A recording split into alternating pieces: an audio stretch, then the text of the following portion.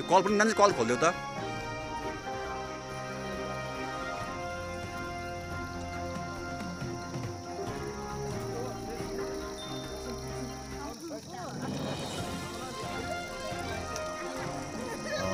सुनदा पश्चिम समष्टि अन्तर्गत पर्ने यो चौबिस तेह्र बुथभित्र परेका शाखा गरी न- शाखा नयाँ जहाँ चाहिँ आज धेरै वर्षको अन्तरालमा अठार वर्षको अन्तरालमा है हाम्रो यो गैरी गाउँमा चाहिँ एउटा हामी पानीको काम आज सकिए र आज हामी उद्घाटन गर्न पायौँ। गाउँको हामी सम्पूर्ण गाउँवासी मिलेर हामी यो सल्लाहको साथमा आज हामी पानी उद्घाटन गऱ्यौँ।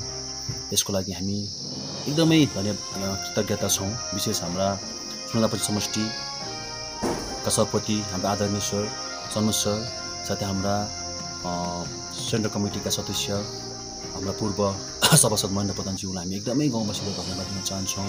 विशेष धन्यवाद हाम्रा जिटिए चेयरम्यान थापा सरलाई एकदमै हामी सम्पूर्ण गाउँवासीद्वारा उहाँलाई हामी धेरै धेरै धन्यवाद दिन चाहन्छौँ।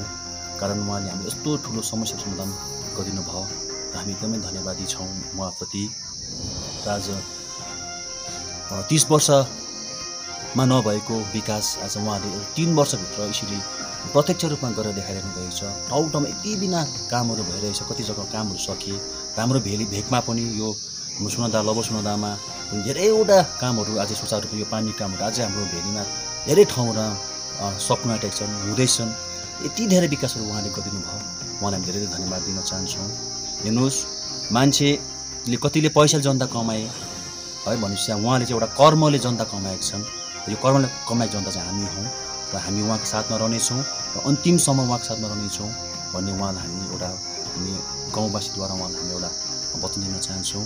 साथै आउने दिनमा पनि अब यस्तो कामहरू अझै हुँदै गओस् र हामी विशेष गाउँवासीद्वारा उहाँलाई एकदमै हामी धन्यवाद साथै उहाँको सुस्वास्थ्य कामने कामना राख्छौँ र विशेष हाम्रो यो दिपावलीको उहाँलाई हामी गाउँवासीद्वारा हामी एउटा शुभकामना पनि हामी एउटा दिन चाहन्छौँ।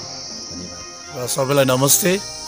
र विशेष गरी हामी नयाँ कमान सम्पूर्ण जनताहरूबाट तपाईँहरूलाई धन्यवाद दिन चाहन्छु कि धेरै वर्षपछि आज हाम्रो गाउँमा यसरी पानीको सञ्चालन गरिदिनु भयो।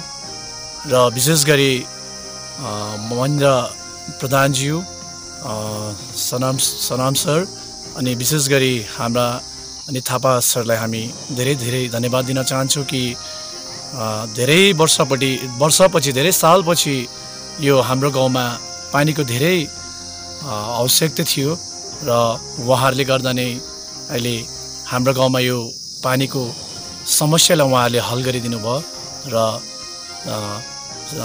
मबाट उहाँहरूलाई धेरै धेरै धन्यवाद दिन चाहन्छु र जय गोर्खा जय गोर्खा।